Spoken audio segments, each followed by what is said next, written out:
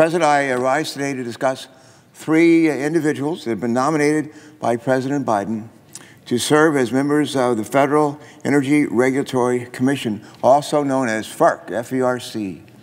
Uh, just last week, uh, climate uh, scientists announced that our planet has surpassed the one and a half degree Celsius warming threshold for the 12th consecutive month.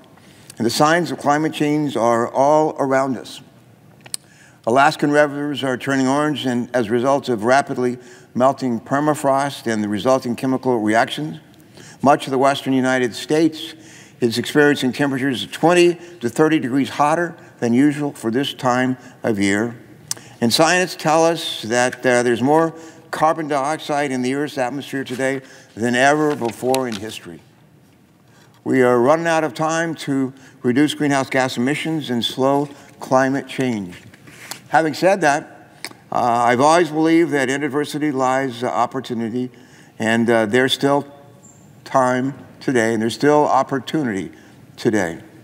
Thankfully, last uh, Congress, uh, presiding officer and I and a bunch of other folks on this floor uh, passed the bipartisan infrastructure law and the Inflation Reduction Act, two once-in-generation investments in infrastructure and in fighting climate change. Together, uh, these laws are making and stimulating the investments in clean energy and infrastructure that we need in order to reduce our emissions and to meet our climate goals.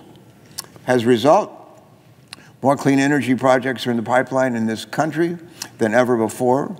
In fact, according to the Clean Investment Monitor, clean energy and transportation investment hit a record $71 billion in the first quarter of this year. That's 71 billion with a B this year, dwarfing last year's 51 billion at the same time frame. And we haven't stopped there. We haven't stopped there. The Biden administration is taking strong steps to build a more efficient and effective environmental review process in order to connect clean energy to the grid as soon as possible. For example, in April of this year, the Council on Environmental Quality issued their final rule to implement changes to something called the National Environmental Policy Act, made by the Fiscal Responsibility Act last year. This rule reforms the permitting process and will accelerate the deployment of clean energy technologies like solar, like wind, and like battery storage, all while advancing environmental justice and ensuring that committees have a voice in the build out of critical infrastructure. One might ask, how does the Federal Energy Regulatory Commission support our clean energy future? Well, that's a good question. Let me take a shot at it. As it turns out, connecting uh, clean energy to the electric grid and delivering this energy to consumers who demand it remains one of the major challenges to help transition our grid to reliable carbon-free sources. And with well over two terawatts of energy, I, I, asked myself, I said, what is a terawatt? I think a terawatt is a billion. Two terawatts would be two billion. So we're with, with, with well over two billion watts of energy, most of it clean energy, currently on the sidelines, FERC plays a vital role in expanding our nation's transmission capacity in order to allow new projects to move forward quickly. To put that figure again in perspective, that's 2 billion 2 billion watts of energy. That's double the amount of electricity generating capacity that we have today. For example, just last month, the FERC finalized two rules to tackle pressing challenges in the transmission planning process. But there is more to do, and there's a lot more to do. And it's up to us in this body, in this Congress, and over the House of Representatives, but especially in this body, to ensure that the Commission has a full slate of commissioners in order to continue the, their work to modernize our electric grid in the 21st century. As we know, President Biden has nominated not one, not two, but three well-qualified individuals. Two are Democrats, one is Republican, to serve terms on the Federal Energy Regulatory Commission on FERC.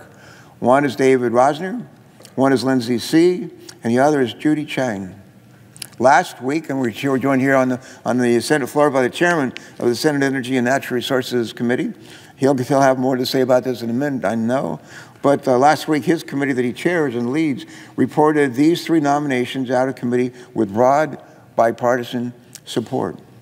Should they all be confirmed this week, uh, Congress will have done its job to ensure that the Commission is fully seated so that FERC can continue to advance these policies that we need to bring, uh, that enable us to bring more clean energy off the sidelines and onto the grid.